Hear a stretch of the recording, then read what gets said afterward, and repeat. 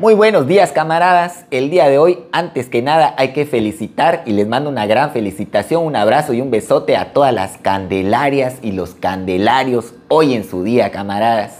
Y en especial a toda esa banda que le salió muñequito el día 6 de enero que hoy no se hagan patos, hay que dar los tamales. Hoy nos espera una tamaliza, bueno algunos, pero a otros les tengo hoy una receta chipocluda Gualabara, Gualabara, de bajo presupuesto. Aquí para toda la banda, cocinando con carechulo. Ya lo sabe, camarada. Vamos a hacer el día de hoy un guiso que se llama migas de huevo. Vamos a necesitar unas tortillas de antier. Mientras no tenga y no te verde ni, ni anaranjado, todo va bien, chao. Un tomatito que nos volamos ahí con la verdulera y no se dio cuenta o la tenemos en el refri desde hace días media cebolla, la que te quedó desde la última vez que botaneaste algo por ahí, y dos huevos, papi, ¿eh? Que la neta ahorita ya está caro el huevo, chao. Y uno untándoselo a la fiera, gratis. No lo valoran, no nos valoran, chao. Pero bueno, pues el primer paso que vamos a hacer es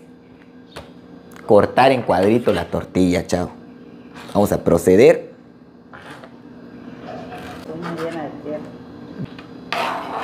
Medio tomatito nada más. Ahora, ahora vamos a picotear la cebolla, pedacito nada más ahí también, levesón. Me acuerdo cuando me cargaban mis papás y me da una nostalgia. Ahorita me carga la chinga. Bueno, pipianazo, ya terminamos de picotear la cebolla. Ahora sí vamos a pasar con el protagonista de este guiso, que es el huevo. Ahora sí, mi Mai, vamos a proceder a pasar aquí a la estufa de inducción.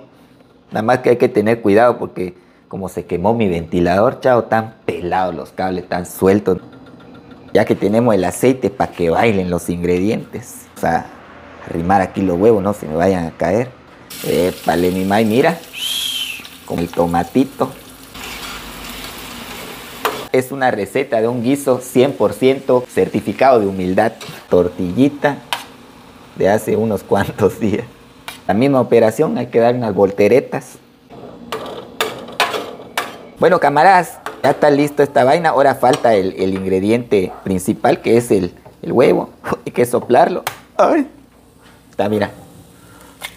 ¡Qué óvole! Mira, nada más. ¡Qué chulada, eh! ¡Plau! Lo rompe con un golpazo. Acabo de brincar la barda aquí con la vecina, que tiene sus gainas ahí en su patio. Mane, trancé dos huevos más, caro. Él iba yo a pedir fiado a doña Mercy, caro, pero no abierto, chao.